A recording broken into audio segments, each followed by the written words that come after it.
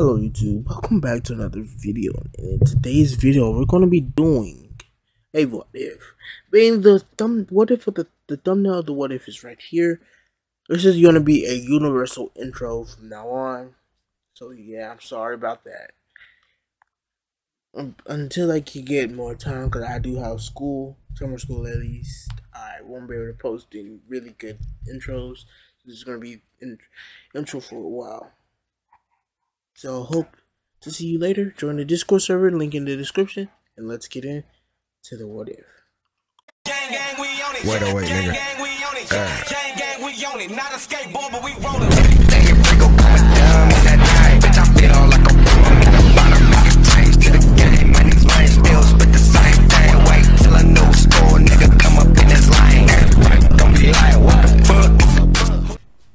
Alright guys, so this is part 5, the final part of What If Deku was Gaara's reincarnation. And I know some of you guys are like, yo, this is finally over, we can finally get a new series. And I know some of you guys are happy. But think about it, I had to upload the movie. You, you finally get a new series. And if, if like I said, go go join the Discord. I know I don't always put it in the link in the description. I'm going to update the link that's on my profile. If you go to my channel, there's a banner. And I'm to update that link so that you get the link that never expires. I'm to get that link. I'm to put it up there so that you guys can go ahead and join the Discord through that. That way I won't have to say join Discord link in the description, but I should automatically just start putting the link in the description for Discord. I really should. So yeah. Sorry about that. Now moving on. Let's get into the final part of this what if. Now basically, as I said, this is kind of like the final battle, being Deku and um um Deku and them taking on the pro heroes, or Deku and All Might and them taking on the villains. Now, if I'm being honest, most other villains are being taken care of by the other pro heroes. But Deku, All Might, and Endeavor are taking trying to fight down All for One. Now, all pro heroes are making their way towards the UA Sports Fest. Well, actually, I didn't say all pro heroes were there, so all pro heroes are actually fighting at the sports festival. And this is when someone will then speed past, um, past All Might Deku and endeavor before all four would then capture the person by their leg. This being Gran Torino. As all for once is Gran Torino. You're far too slow to land a hit against me, especially in your old age. As he then throws Gran Torino out the way, only for sand to appear under him, for Deku to catch him. As all for one, then says, "Ah, Midoriya, why don't you hand over that quirk and no one, no one would get um, hurt?" As Deku then says no, before then sending sand that somehow crept upon For One. As For One shouts saying, "How can this sand creep up on me? I have a danger sense, of sorts." But the reason why is not be is most of the time it's just Deku sand filled with chakra. And Deku can actually lower the resonance of the chakra to where it feels like energy that is constantly being output. So it doesn't really give off a sense. And it doesn't have a sense of danger either. Because well it's just sand. And because it's not it's not legit a legit quirk, which anytime Deku uses it would give off a dangerous make a, any danger sense go off just it doesn't have one for all being used with it. The sand can actually sneak up on off one. As Deku would then say, sand coffin. As this is when For One then break out of the sand before saying, that won't happen. As For One then fly up to the sky.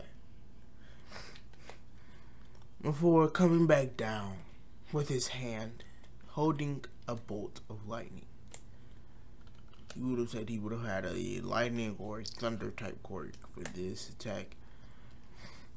Before Deku remembering what Gaara told him about his first Chunin exams, or about the finals of his first Chunin exams, what happened when Sasuke Chidori had met with his sand. So Deku would then have to charge all of his sand around him with all for one, one for all, causing when all for one throw the sand, which would have actually pierced and killed Deku, to to legit hit the sand and explode, leaving no marks in it only for Deku's lightning of the sand to to absorb it. Seeing as how the sand is made, sand, magnet release is made up of both lightning and wind release, or, or not lightning, earth and um, wind release. And I believe light, uh, wind is strong to lightning, so it will actually dis- dismantle it. Which I don't get. How was that not possible during the first part of the Chunin exams? Maybe because magnet release wasn't really a subject back then, but still. Now, moving on. Deku would have basically then said Sh Shukaku. I see where they entered this mindscape. As I'm going to make all for one on the threat level of pain, or not pain actually, um, of Deidara. If um um maybe oh yeah on his level of Deidara, where Deku would have to go all out. As Deku would tell Shukaku, I'm gonna need your help. Shukaku say, Well then, why don't we go at it, partner? As I'm gonna do an iconic thing with both Bak with Deku and Shukaku that I did with Nar that Naruto does with Kurama. Now I'm actually currently about to look up a picture of Deku of Gaara in a KCM type cloak with Shukaku. So let me look that picture up and then I'll get back to you. Alright, so I've found the picture, and what you're looking at now will be what if um would be what would could look like in a KCM variation to Shukaku's with Shukaku. This is where a Shukaku made of sand, but it's more of an avatar would appear. As all for one and everyone else will be shocked as Deku then tells All Might, Gran Torino, and Endeavor to get away, only for All for One to then try to encase them in a spear. But something weird is happening to his power. His power isn't working. All for One cannot no longer move. He doesn't know why. As he then looks down, he's barely able to move, but he looks down to see sand with these weird markings surrounding his leg as Deku has used the um, Magna Release Sand on him, which we do know that Naruto's Magna Release can probably most like um with the seals can actually trap someone in place. So I'm going to apply that to this to the sand for right now, especially since he's using a Shukaku's power. As Deku would then say, Shukaku now as him and Shukaku would then begin to scream as they both yell out, Tail Beast Bomb! As they then, Shukaku then begin to power up a Tail Beast Bomb. All for one would then use one of his quirks, which is barely being, which he's now barely being able to free himself from the use of the magnet release. Since his time is, since it's slowly weakening, and is weakened enough for him to use at least one quirk, being a quirk of forcefully uh, removing all inhibit inhibitors on him, which means like like it makes him. I, I don't know what it's called when you you forcefully um, like um, what is it called when somebody's keeping you from moving. That word I'm trying to it forcefully keeps that from applying to him. So he's now able to move it. Then puts up a barrier barrier being that uh, to protect him from Beast Bomb. As been Beast Bomb is finally, I mean, finally done. when this, when it is finally done, the um, everyone would look at the smoke to see where All for One's at, only to see a barrier had appeared. As Deku would then say,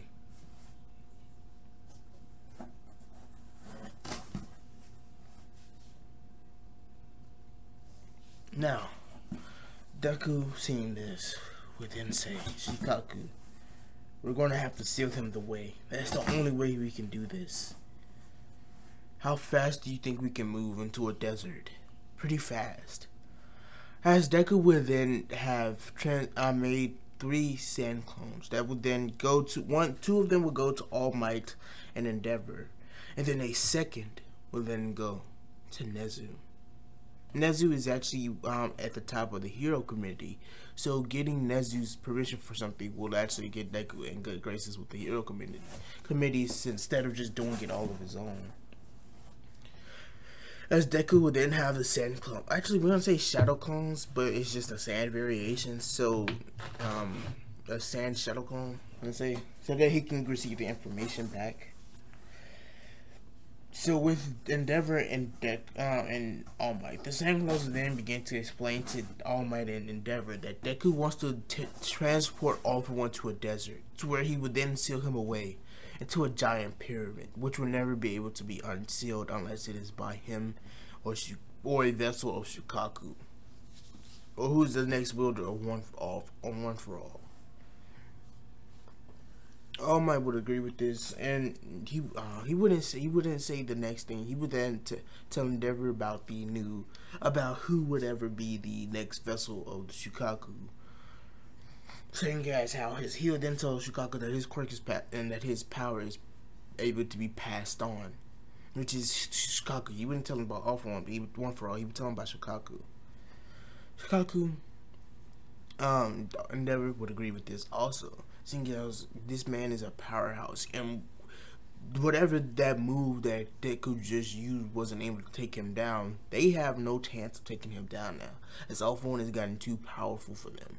As Deku um, with Nezu, Deku would then say, Nezu, I'm going. He would then ask Nezu for permission to seal away All For One within the deserts of Africa. And he would then tell um, Nezu that no one would be able to ever unseal it unless they were a vessel of Shukaku. As Nezu would have then would have actually seen as a head of Shukaku, as Shukaku would then begin to form his head from Deku's um, cloak. So, um, anyways, so now moving on. Uh, moving on. Deku. anyways, moving on. Deku would have um Nezu would have told Deku that this is a perfect plan. The only the pos- only possible way for him to get rid of All for One. She would then ask Deku how long would the seal last. As Deku says, the seal should last for thousands and thousands of years, with no one being able to break it unless they have Shukaku within them. And he says, but even then, over that time, the seal begins to take away all of his power, and by even by the time of like a hundred, by like five years, his power should be fully gone, and by then he'll just be a normal human being sealed away. He'll be a quirk, somewhat of a quirkless person, just sealed away for um for those years within the um the seal. And this is when Nezu would then go ahead and give the okay, as the clones would all disperse, giving back the information to Deku. As Deku would then say, All for one, this is it. As all Deku then disappears, as what's left is a trail of sand, as he appears right on All for One. All for One can't keep up with him. No one's moved this fast, and this is comparable to the speed of KCM1 Naruto. Um, that's how powerful I'm going to make this how how strong I'm gonna make this Gaara this Deku, and you guys are like yo. I mean how fast at least, not how strong. He could be pretty strong because it's a Biju nonetheless, but still I'm gonna make him that fast. This is when For One would then feel Deku grab his face before then moving away, like Ichigo did with Aizen. They would then appear in the sands in the deserts of Egypt or yeah, in the deserts of Egypt, as For One asks, "Where are we?" As Deku then says, "We're in the deserts of Egypt, your final resting place." As All One says, "What?"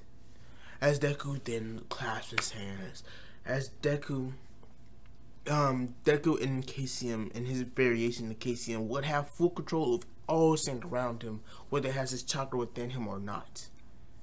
And with it mixing with Shukaku's cloak, Shukaku has control of the sand too.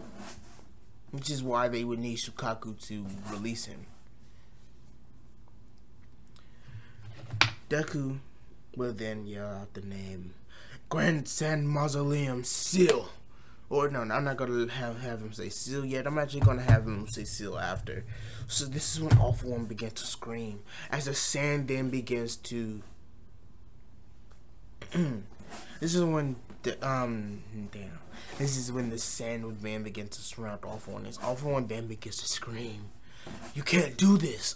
I, I am a god." As off as Deku says, "You're no god. You're just a mere person who let power go to their head." as Deku then, as all the sand finally encompasses compasses all for one, as Deku then says, "Seal." As all for one has finally been defeated.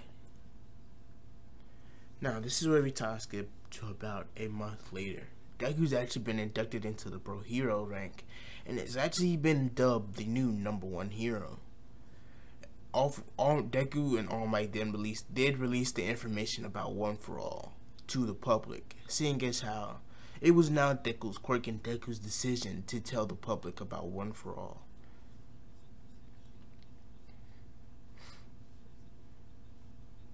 Now, with Deku become taking up All Might's new mantle pro um, number one hero and symbol of peace, the government does have legit specifics on Deku, and um, Deku did tell the world about his power being the power of a reincarnation of a very powerful person from a different world.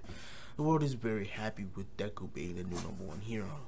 Saying, seeing in a lot of worlds, a lot of people that says how powerful is the other people from whatever world that man came from.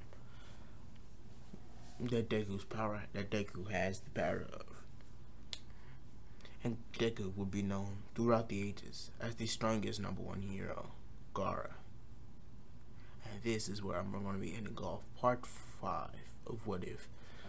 Of What If Deku was Gaara's reincarnation. I hope you guys have enjoyed the What If. I did. Hmm. Join the Discord link in the description. I will actually put it in the description this time, I guess. But I will edit it, edit this video after I get home from the pool. So I will see you guys later. Kage out.